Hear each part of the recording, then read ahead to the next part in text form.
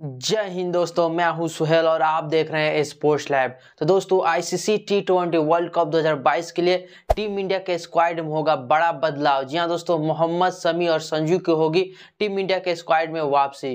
तो दोस्तों, आखिर की होगा यह दोनों खिलाड़ी को वापसी वर्ल्ड कप के स्क्वाड में और किस तरह होगा तो दोस्तों, इसी के बारे में आगे चर्चा करने वाले हैं।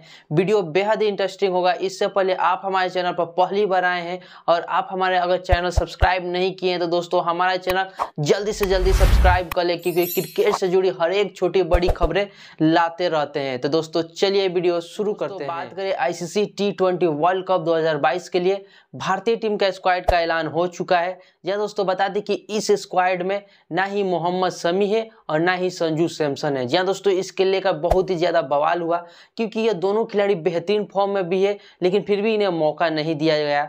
जी दोस्तों, अब लेकिन बता दें कि अभी भी चांस है यह दोनों खिलाड़ी को भारतीय टीम के स्क्वाड में शामिल होने का। जी दोस्तों, बता दें कि आईसीसी द्वारा जारी किया गया है कि 10 अक्टूबर तक सभी क्रिकेट बोर्ड को अपने स्क्वाड का पूरा जानकारी आईसीसी को दे देना है। या दोस्तों, यानी कि 10 अक्टूबर तक चांस है कि बीसीसीआई चाहेगा तो दोस्तों अपना स्क्वाड बदल सकता है टी ट्वेंटी वर्ल्ड कप 2022 के लिए। तो दोस्तों, बता दें कि इससे पहले भारतीय टीम जो कि अब ऑस्ट्रेलिया से भी टी ट्वेंटी मुकाबला खेलने वाली है, जिसमें मोहम्मद शमी को मौका ऑलरेडी मिला हुआ है। इसके अलावा साउथ अफ्रीका के खिलाफ भी टी ट्वेंटी मुकाबला होने वाला है। जी दोस्तों, उसमें भी मोहम्मद शमी खेलने वाले हैं। और संजू सैमसन जो कि इंडिया एक कप्तान है, जो कि बाईस सितंबर से शुरू होगा न्यूजीलैंड के खिलाफ वनडे मुकाबले। तो दोस्तों, बता दें कि अगर मोहम्मद शमी और संजू सैमसन बेहतरीन प्रदर्शन करते हैं तो दोस्तों, पूरा चांस है कि बीसीसीआई को किसी भी हाल में यह दोनों खिलाड़ी को मौका देना ही होगा ICC T twenty world cup 2022 में।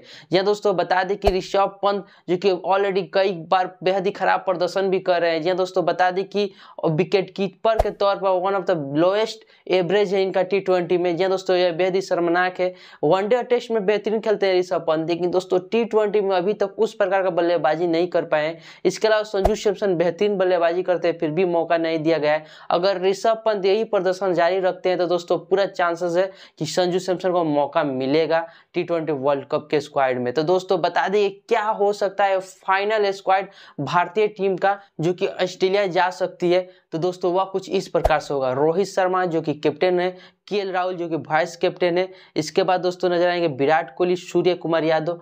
वहीं दोस्तों बता दें कि ऑलराउंडर में हार्दिक पांड्या, दीपक हुडा अक्षर पटेल, रविचंद्र अश्विन। वहीं दोस्तों विकेट कीपर में बात करें तो दोस्तों वह दिनेश कार्तिक और संजू सैमसन हो सकते हैं। इसके अलावा बॉलर्स में बात करें तो दोस्तों वह हो सकते हैं जसप्रीत बुमराह, भुवनेश्वर कुमार युजेंद्र और सदीप सिंह और मोहम्मद शमी। जी हाँ दोस्तों, अब सभी पूछेंगे कि हर्षद पटेल को क्यों नहीं मौका दिया जाए? तो दोस्तों बता दें कि हर्षद पटेल जिस जिस प्रकार के गेंदबाजी करते हैं, उनको ज़्यादातर स्लो पिच बेहद ही सूट करता है। लेकिन दोस्तों, आप सभी को मालूम है कि ऑस्ट्रेलिया में फास्ट बॉलरों को मदद करने वाला पिच रहता है। वहाँ पर हर्षल पटेल उतना इफ़ेक्ट साबित नहीं हो पाएँगे। और वहीं दोस्तों, मोहम्मद शमी बहुत ही ज़्यादा इफेक्टेड गेंदबाज साबित हो सकते हैं ऑस्ट्रेलिया में भारतीय टीम के लिए। तो दोस्तों, हर्षल पटेल के जगह पर बिल्कुल कंफर्म रूप से मोहम्मद शमी को मौका मिलना चाहिए। तो दोस्तों, आपको क्या लगता है कौन कौन खिलाड़ी की जगह पर मोहम्मद शमी और संजू सैमसन को भारतीय टीम के स्क्वाड में शामिल करना चाहिए। हमें कमेंट बॉक्स में जाए कमेंट करके ज़रूर बताएँ। वहीं दोस्तों, यह खबर आपको अच्छा लगा तो अपने दोस्तों को पास शेयर ज़रूर करें। तब तक ले मिलते हैं हम आपको अगले वीडियो में।